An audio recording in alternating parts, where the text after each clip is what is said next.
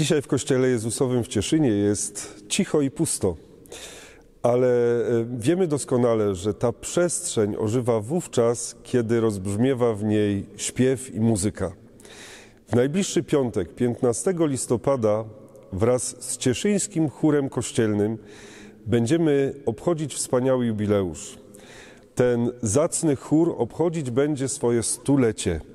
Z tej okazji pragnę Państwa serdecznie zaprosić na uroczysty koncert e, tutaj do Kościoła Jezusowego w Cieszynie. Rozpocznie się, tak jak już powiedziałem, w najbliższy piątek o godzinie 17.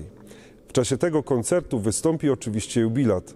Cieszyński chór kościelny pod dyrekcją diakon Joanny Sikory, któremu towarzyszyć będzie Wyższobramski chór kameralny pod dyrekcją pana Piotra Sikory, a na organach Kościoła Jezusowego zagra nasz organista, pan Wojciech Wantulok. Serdecznie zapraszam do tego, abyśmy wspólnie świętowali.